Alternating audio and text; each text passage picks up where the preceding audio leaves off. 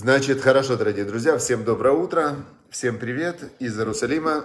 Сегодня наш урок посвящается свадьбе Якова Шатадина. Сегодня Яков Шатадин женится, чтобы Бог дал ему в добрый час, как говорится, знаете, в добрый час, чтобы было у него благословение в семье, чтобы это было ему, ему и всему вообще миру, всему еврейскому народу, всем было в радость. И чтобы он построил дом, настоящий дом в Израиле – и, значит, чтобы был у него шломбайт. Вот это самое главное. Зачем люди женятся? Чтобы создать шалом в доме, чтобы создать шалом-байт, да?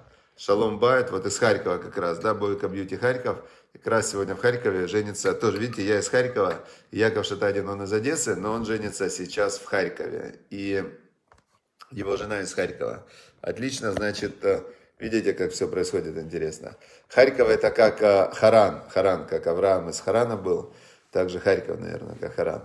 Мазаль Тов, да, что было ему хороший мазаль. Мазаль это хорошая судьба. То есть вли... мазаль это как влияние с неба. То есть с небес идет влияние, и человек находится под этим влиянием. Вот чтобы у него был хороший мазаль, значит, и у него его семья. Все, мы продолжаем изучать хитас. Это хумаш Таня Тейлим. Сегодня у нас 29 число месяца Тишрей, кто забыл, сейчас месяц Тишрей. И как раз э, вот здесь э, отрывочек из 360, 365 размышлений Рэбе, и сегодня как раз попался ему на день его свадьбы совет такой Рэбе. Хорошая жена заставляет мужа стремиться к правильным решениям, делам. Вот прямо Рэбе дал ему тоже благословение Любавичести на его свадьбу, да, что Прям видите, хорошая жена заставляет мужа стремиться к правильным решениям, делам. И чтобы они с женой, они прямо развили Ваикру, чтобы мы хотим развить Ваикру, сделать центр Ваикра в Израиле, такой, чтобы можно было приезжать, делать свадьбы в Израиле, делать обрезание, бармитсвы и так далее. Хорошо. Значит, э, и сегодня, сегодня мы продолжаем изучать недельная глава Ноах. Э, Ноах, и мы находимся как раз в седьмом Перете. И здесь рассказывается о том, что Мабуль, вот этот потоп, он длился целый год. Можете себе представить, целый год. Но он длился целый год не, не равнозначно, да, целый год вот там дождь было. Все было разделено на периоды. Вначале, когда начался дождь, и был Мабуль 40 дней написано на земле и поднялись воды. 40 дней лил дождь, лил ливень такой прямо вообще. И э, поднялись воды, и поднялись, поднялась Тайва, поднялся этот ковчег, и начал он, э, поднялся он над землей. То есть вода поднималась, поднималась, поднималась, да, Яша, поздравления, поднималась вода, поднималась, и ковчег, он поднимался вместе с водой. И крепли воды написано, Ваикберу Амаем, крепли воды, и Ваербумот, и очень умножались они на земле, и, значит, плыла эта тайва по, по поверхности воды. Интересно, что здесь Раша добавляет, что крепли воды имеется в виду, основная вода была от э, бездны, а не от неба. То есть, оказывается, вот в последнее время ученые э, обнаружили, что внутри земной поверхности, да, вот есть Земля, там внутри океаны, подземные океаны, можете себе представить, что внутри Земля частично заполнена подземными океанами. И вот эти подземные океаны в тот момент, они поднялись из-под земли. И, значит, когда они поднялись из-под земли, то вода поднималась, поднималась из-под земли, лилась с неба. В общем, вода, вода, она все смыла, все смыла вода. И интересно сейчас, если кто хочет обнулиться, кто хочет обнулиться максимально, то он что должен сделать? Пропал звук, да, пишут в Инстаграме, пропал звук, не знаю, что сделать, звук пропал, да, пишут. Как же это обидно, что в Инстаграме пропал звук, хотя ничего для этого не сделал, чтобы он пропал, но и не могу вернуть. То есть я как было, так... Значит, переходите на Facebook, переходите, пожалуйста, на Facebook, я ничего не менял, то есть и звук вот он был, теперь его нет в Инстаграме, нету звука. Значит, переходите на Facebook. Ничего не могу сделать, я ничего не менял в Инстаграме, он просто звук исчез, просто звук исчез. Почему звук исчез, что сделать, не знаю. Все, я не буду сейчас э, заниматься Инстаграмом. Переходите на Facebook. Facebook. Facebook. Facebook. Хорошо. На Facebook все хорошо. Извиняюсь, значит, я, раз звука нет на Инстаграме, значит, может он появится, я тогда не буду прекращать. Все, занимаемся на Фейсбуке. Значит, воды поднимались, и уже они покрыли, покрыли воды всю, всю поверхность земли. Ну, нет звука, значит, все, выключаемся. Завершить. Значит, э, все.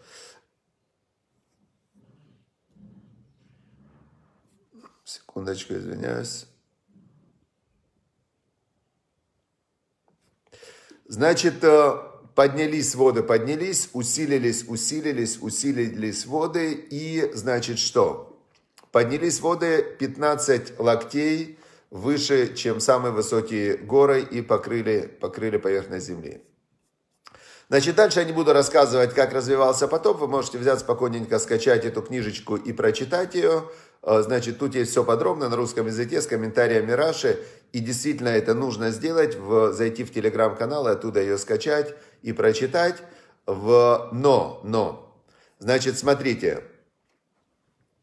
Самое, на что я хотел обратить внимание. Прошел год. Прошел год. Прошел год. И 40 дней шел дождь. Потом воды 150 дней они прибывали. 150 дней они убывали. И вот уже 340 дней закончилось, и тут, значит, все. Ноах смотрит, солнышко, воды убывают, и он понимает, что потоп заканчивается. Все, закончился потоп. И что он делает? Он посылает орла. Посла... Не орла, посылает он, э, у него был ворон. Посылает он ворона. Послал он ворона, значит, и этот ворон и выпустил он ворона, и вылетел тот, отлетая, возвращаясь, пока не высохли воды на земле. Ворон летал, летал вокруг ковчега. Летал он вокруг ковчега, полетал, полетал, полетал. И что? Значит, вернулся некуда. То есть Нох понял, что еще пока земля не сухая. Потом он выпускает через неделю, выпускает голубя, чтобы посмотреть. И выпустил он голубя по истечении семи дней. Значит, э, отпустил он голубя, но голубь не нашел покоя для ноги своей и возвратился в ковчег. Значит, Ноах взял его обратно. И ждал он еще семь других дней, то есть он еще семь дней подождал и отправил потом голубя еще раз. И прилетел к нему голубь с оливковым листочком. То есть уже голубь нашел где-то оливковый листочек. Теперь замечает тут Раши, замечает Раши.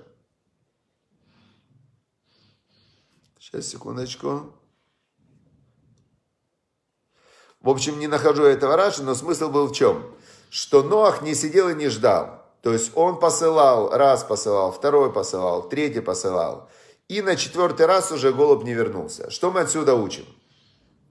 Вот э, вы видели только с четвертого раза попытка Ноха увенчалась успехом. То есть голубь вернулся только в четвертый раз. Получается, что вот здесь тоже действует вот этот закон, который потом сформулировал Паретто. Был такой итальянский ученый.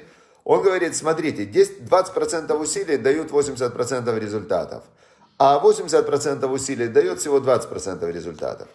Мир так устроен, что человек, даже Ноах, даже праведник Ноах, он предпринимал усилия, и три из четырех усилий были, они безрезультатные. Послал ворона, не, не, ворон вернулся ни с чем. Послал голубя, голубь ни с чем. Еще раз голубя с листочком. И только четвертый раз уже получилось у него, у Ноаха, с голубем он понял, что потом закончился. И вот я не нахожу этого Раши, но я его когда-то видел – что зачем он посылал этого голубя постоянно, да? Ведь он мог сидеть спокойно и ждать. Так, почему же он его посылал?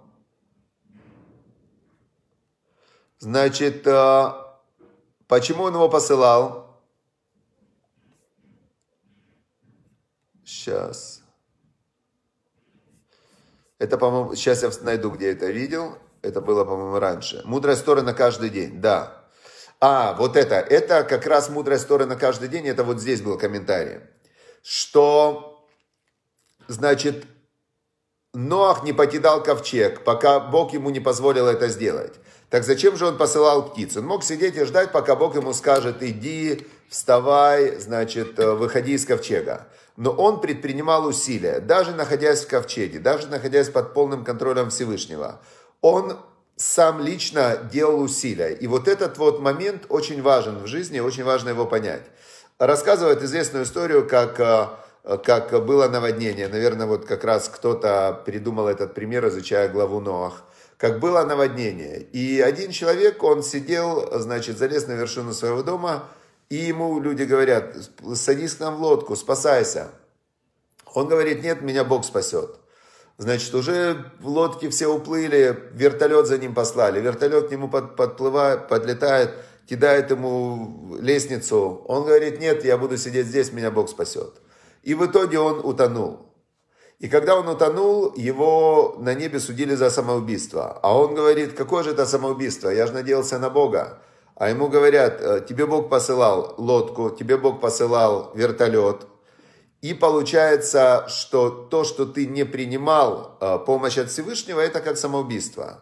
Но, но, здесь даже больше еще. Мы видим на примере Ноаха, что он не ждал, пока Бог ему пришлет помощь. Он посылал птицу, посылал птицу, посылал птицу, и потом, когда птица уже последняя не прилетела обратно, тогда Ноах сказал, все, значит, я понял, потом закончился. Понятно, да? Теперь э, спрашивают, задают вопросы, а как очищаться, да, то есть как очищаться. Мы видим, что вода, это была, была вода потопа, это было то, что можно сказать миква для мира, очистила мир. И поэтому, поэтому есть, например, в Цфате есть миква Аризаля, куда окунался великий мудрец Аризаль, который был великий мудрец, жил он около 500 лет назад в Цфате. Это родниковая миква, родник, который, который наполнил такой, как каменный бассейн. И когда туда окунаешься, как раз это родниковая вода, которая, которая прямо течет из недр земли, вот эта чистая вода, которая была еще того времени, когда когда был сотворен мир. Это вот э, источник называется миква, да, родниковая вода. Она очень сильно очищает. Есть вот такие источники, они есть, например, в Меджибаш, в Гадиче. То есть любое важное место для духовной, духовной работы обязательно еврейские мудрецы, они каждый день окунаются вот в эти родниковые источники для того, чтобы э, очищаться духовно, для того, чтобы обнуляться. Теперь тот человек, который хочет использовать этот способ, может, э,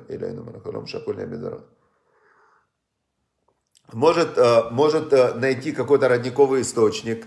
Я думаю, что они есть практически в каждом городе. Точно так же действует море. Точно так же действует океан, точно так же действует озеро. И э, в любой синагоге есть миквы. Миквы – это как раз вот эти вот источники. Теперь само вот это вот опускание в микву, оно как раз должно быть с намерением смыть себя, да, как бы смыть, очистить себя все старые программы. И оно должно быть, э, должно оно быть а, ну, обязательно без всяких препятствий, без одежды, без всего. Кстати, сегодня вот Яков Шатадин перед свадьбой тоже обязательно есть такой обычай. День перед свадьбой жених и невеста постятся, они не едят и не пьют вообще ничего целый день. И они окунаются в микву. И когда они женятся, да, под хупой, то им прощаются абсолютно, то есть они как бы обнуляются и начинают абсолютно новый цикл, как две новых личности которые соединяются в одну новую сущность да, на небе. То есть их задача соединиться в одно целое. И вот э, еще раз тогда мы желаем Якова Шатадину и его замечательной жене, мы желаем, чтобы они соединились в одно целое. И это самая большая духовная работа для человека в этом мире э, создать вот этот вот единство и шалом байт у себя в доме, и если мужчина удостаивается, так жена становится ему помощником. То есть э, жена это как индикатор, насколько у человека все хорошо внутри, с Богом, с собой, с э, людьми. То есть жена это такой явный индикатор того, что он в духовном плане действительно развитый. Вот, поэтому это тяжелая духовная работа, мало кто ее выдерживает, потому что проще, намного проще уроки проводить. Вот я вам честно скажу, что если сравнить, э, что проще, а, быть э, хорошим мужем или хорошим преподавателем, так мне в миллион раз проще быть преподавателем. в миллион раз проще, потому что э, провел урок, выключил и все. Хорошо, дорогие друзья, всем удачи, успехов, чтобы был хороший день, чтобы была хороший... Какой будет день, такой будет месяц, год. И скоро у нас, кстати, вот Рош Ходыш будет, начало месяца будет буквально в четверг, в среду, в четверг, Йом Равием Хамиши. Все, друзья, удачи, успехов, всем хорошего дня и Мазальтов Якову Шатадину. Счастливо.